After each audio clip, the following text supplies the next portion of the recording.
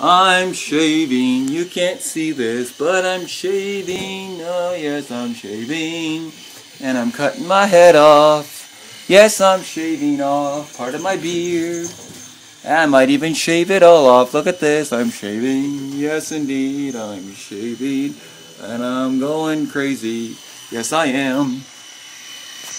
That's right. I am shaving off my beard. Yeah, I'm shaving it off, guys. It is September. I don't even know what the date is yet today. I think it's the 7th. But anyway, I'm just shaving here because I am getting ready to go to the church. Now, I did miss a day this week because I was sick. I don't remember what the date was, but now all my vlogs are behind. I have about three or four of them to edit, so they will be up this weekend.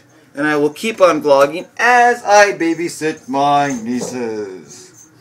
And so, follow me. I'm in the middle of watching CTFXC. See? Um, CTFXC. I'm getting ready to go to church. And as you can tell, I'm getting my Mac top ready. And my iPod extraordinaire.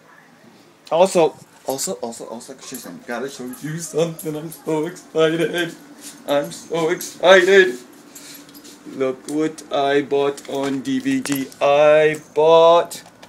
That's right. Call it people. Call it people. I'm doing this wrong. Hold on, hold on, hold on. Look what I bought on DVD. Can you figure it out yet? Can you figure it out yet? Look! I bought House Season 1! It was used for focus for $13.99. This was so awesome. It's double-sided DVD. It is so cool. I was watching part of it today. I was watching actually one of my favorite episodes of House Season 1. The Nun. The Christmas episode. The Nun. Yes, The Nun. I keep saying that. I repeat myself a lot. So I am going to turn off CTFXC. I am going to turn on my DVD player, which, by the way, I'm moving to the bedroom tonight. Excuse me. And I'm going to watch House.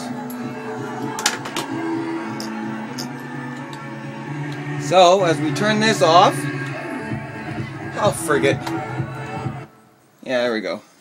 As we turn off Chrome, Chrome, I am going to turn on House, House. That is so Rising ALT and AST twice the normal range. So here we go. I'm watching House and I'm heading off to church. So I will drop that and catch you on the flip side. When you're looking at the differential diagnosis with Dr.